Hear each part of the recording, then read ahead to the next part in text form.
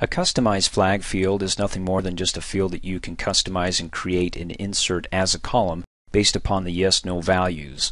So in other words, if it's yes, you can have a little icon or indicator like something green saying this is complete, or if it's no, you can leave it empty or give it a red flag. So to go ahead and set this customized flag field up, just come up here, click on the Tools menu, go down to Customize, and then over and down to Fields. We're going to come up here and change the type from text to a flag. And of course you can select one of the fields here and click rename and give it whatever name you want, like let's say completed, and click OK. We're going to keep it simple here. And then down below for the values to display, it's going to be data, but I want some graphical indicators. What kind of graphical indicators do I want? Well, I'm going to come up here where it says give me a test, click on the drop down arrow where the test, we're going to say equals a certain value, and what value is that? I'm going to have it as yes. If it equals yes, then I'm going to go ahead and click and click on the drop down arrow for the image and say if it's yes, it's completed. And let's give it a green circle or there's got to be something more here. A green flag, that's nice. Diamonds, lights. How about a happy face? We like happy faces. If it equals no, then boy, we would be in the frownies, wouldn't we?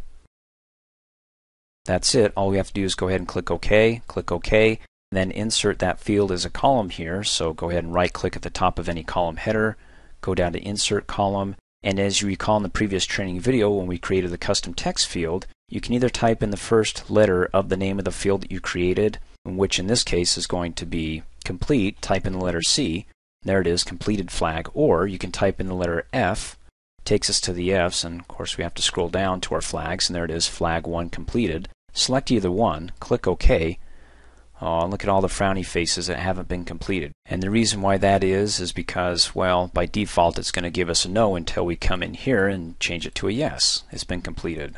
Yes, it's been completed. Yes, it's been completed. This does nothing over here in the Gantt chart. Again, it's just a graphical indicator for you that you can keep an eye on here. I mean, if you got a big project and you can't really tell if they're completed, I mean, you're not looking at the indicator column or using it for something else besides the task being completed, whatever it means to you, just know that you can do that. And to get rid of this, of course, you can always hide it, but if you want to delete and remove the uh, completed field altogether, come up here, click on the Tools menu, go back to Customize, and of course over to your fields. By default, it pulls up the text type. We want to change it to the flag. Select your flag, delete it, click Yes, click OK, and in its place are the values, in which case we don't care about them. We can just ignore them by right-clicking and hiding the column and not worrying about that uh, flag field again. Unless, of course, we want to reuse it. Thanks for watching. Hey, as a quick reminder, if you like my video, please give it a thumbs up. You can also click on me and subscribe to my channel, get notified of the latest videos, and for only $2 a month, you can have access to all my Microsoft Office training videos.